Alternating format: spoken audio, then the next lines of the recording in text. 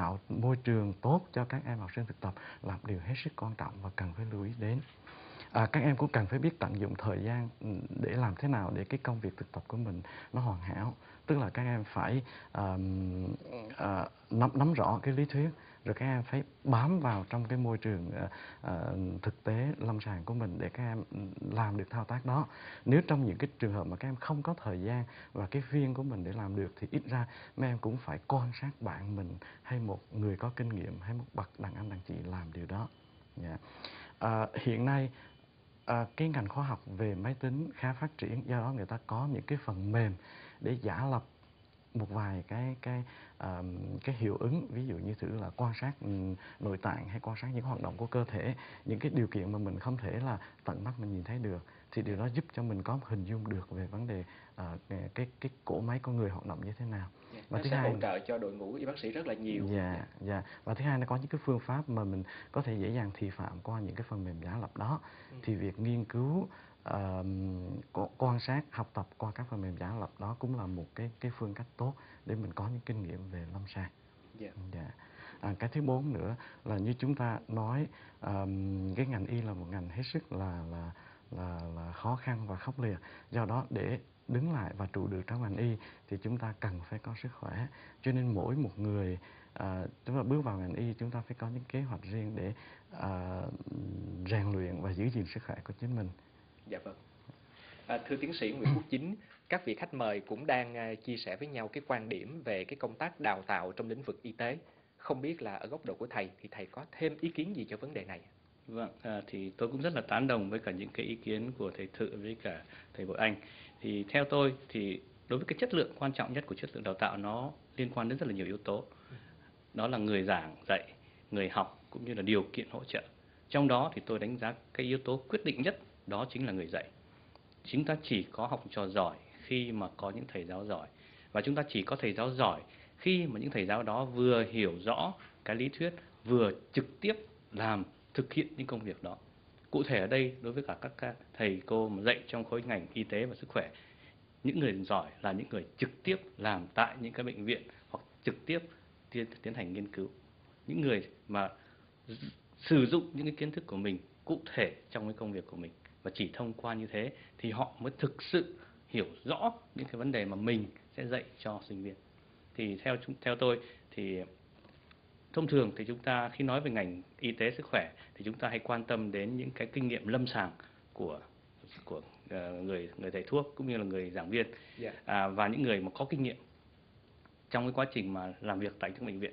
Tuy nhiên một cái yếu tố quan trọng tiếp theo nữa là đã là bác sĩ giỏi phải là những nhà nghiên cứu khoa học giỏi. Ừ. Tại vì như là thầy Thự đã nói lúc nãy là đối với cả ở các cái nước tiên tiến thì giáo viên của họ à, ngành ngành y của họ là họ học đến mười mấy năm vì sao họ học đến cả 10 đến mười mấy năm bởi vì họ phải có một cái nền tảng khoa học rất là mạnh trước vâng. khi mà đi vào học lâm sàng thì như vậy đối với cả cái ngành y Việt Nam của chúng ta khi nói về thay đổi quan cơ bản và toàn diện thì cần phải lưu ý thêm cái vấn đề đó nữa chúng ta có rất là nhiều bác sĩ lâm sàng giỏi tuy nhiên cái vấn đề mà là những nhà khoa học giỏi thì chúng ta cần phải phát huy thêm vâng. dạ vâng à, À, thưa giáo sư tiến sĩ Lê Thế Thự, như vậy thì à, trong cái à, lĩnh vực của chúng ta đó thì à, bàn sâu hơn một chút đó là y tế và sức khỏe thì nó lại có nhiều ngành nữa. Không biết là mức độ học tập cũng như là đầu tư của các bạn sinh viên khi theo học các chuyên ngành nó có giống và khác nhau như thế nào thưa thầy? Thật ra thì à, cái 6 năm ngồi trên trường đại học đối với bác sĩ và 5 năm đối với dược sĩ, 4 năm đối với điều dưỡng và 2 năm đối với y sĩ Ừ. thì chỉ là cái học được những cái môn học cơ bản thôi. Những cái nền tảng thôi. Nền tảng thôi. Dạ. Để anh chỉ có cái tiềm năng để phát triển sau này. Ừ. còn sau đó thì người ta có thể đi vào nhiều cái chuyên khoa sâu hơn. Ừ. ví dụ như mắt của bác sĩ bội anh cũng là một chuyên khoa rất sâu.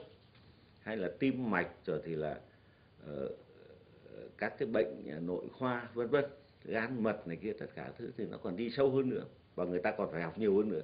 Ừ. cho nên tôi mới nói là người sinh viên vĩnh viễn mà và là nạn nhân của một cái sự hiểu biết có hạn. Dạ vâng. Thế thì uh, đối với lại cái uh, các cái ngành học thì nó có cái giống nhau. Tức là anh phải học về các cái khoa học về con người các cái sinh học khoa học sinh học với con người. Nhưng mà sau đó thì anh lại có cái đặc thù ví dụ như ngành điều dưỡng thì học về kỹ thuật chăm sóc bởi cái hiệu quả công tác điều trị là phụ thuộc vào cái người điều dưỡng người điều dưỡng là cái người gần cái bệnh nhân nhất là những cái người mà sẵn sàng chia sẻ tâm tư tình cảm rồi thấy được những cái nguy cơ tiên lượng được tới bệnh nhân ừ. để mà làm thế còn cái ngành dược sĩ thì phải học bào chế phải học dược liệu à, phải học phân phối thậm chí phải học buôn bán.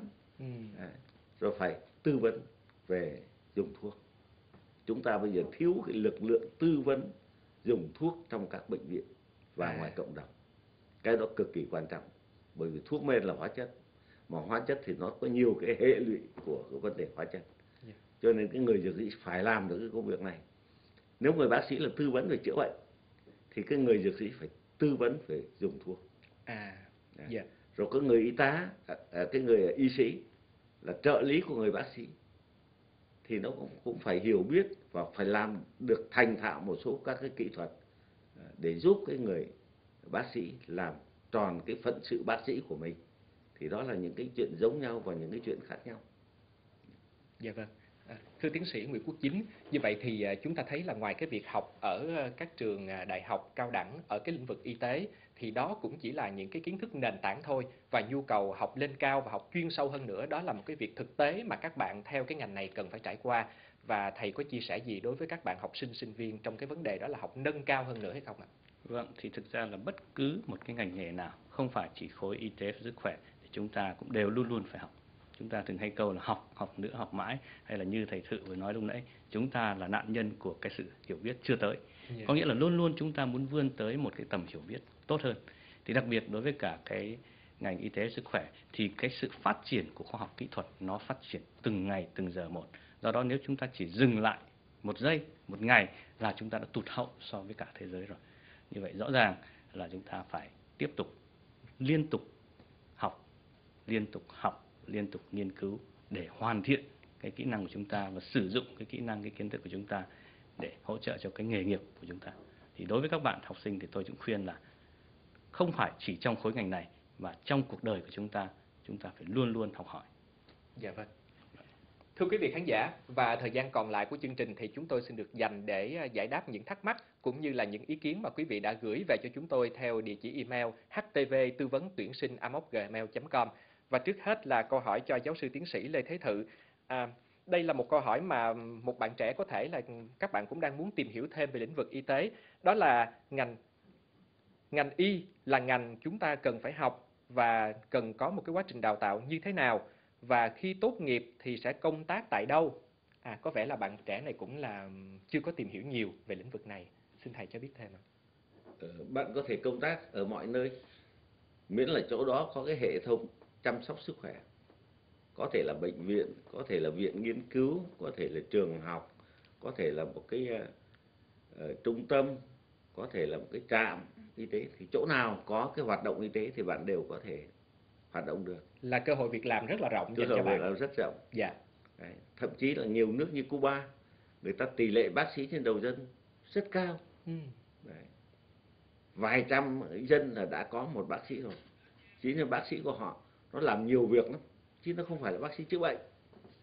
Tôi nói là bác sĩ làm chăm sóc sức khỏe bác sĩ làm dự phòng bác sĩ làm công tác cải thiện uh, cái tình trạng sức khỏe của dân chúng vân vân.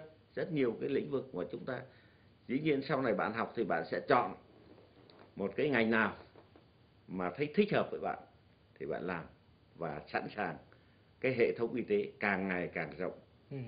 à, càng ngày càng mở ra. ờ, chúng ta cũng có thể nói là chúng ta tự hào là một cái đất nước mà có một cái hệ thống y tế rộng khắp và đầy đủ từ trung ương cho đến xã phường yeah.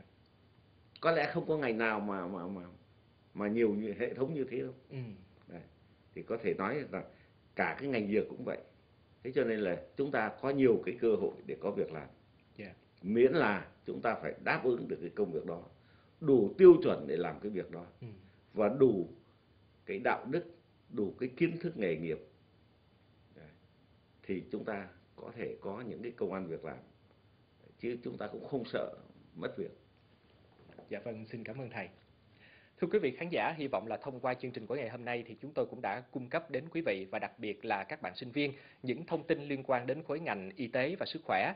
Một lần nữa xin được à, cảm ơn tiến sĩ Nguyễn Quốc Chính, trưởng ban ban đại học và sau đại học Đại học Quốc gia Thành phố Hồ Chí Minh, cùng thầy thuốc nhân dân, giáo sư tiến sĩ Lê Thế Thự, trưởng khoa y Đại học Nguyễn Tất Thành và bác sĩ Nguyễn Đình Bội Anh, trưởng khoa mắt và phẫu thuật khúc xạ Bệnh viện Pháp Việt đã dành thời gian tham gia vào chương trình của ngày hôm nay.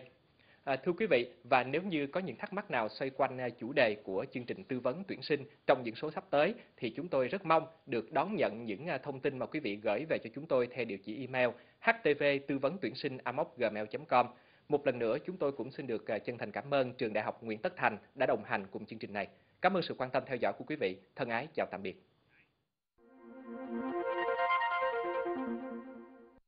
Trong kỳ tuyển sinh Đại học Cao đẳng 2014, Trường Đại học Nguyễn Tất Thành sẽ tổ chức tuyển sinh cho 3.500 chỉ tiêu bậc đại học, 2.000 chỉ tiêu bậc cao đẳng gồm các khối ngành sức khỏe, tài chính, quản trị, công nghệ, kỹ thuật, xã hội nhân văn và mỹ thuật ứng dụng. Điểm mới năm nay, Trường Đại học Nguyễn Tất Thành sẽ tổ chức thêm thi tuyển và xét tuyển riêng cho một số ngành.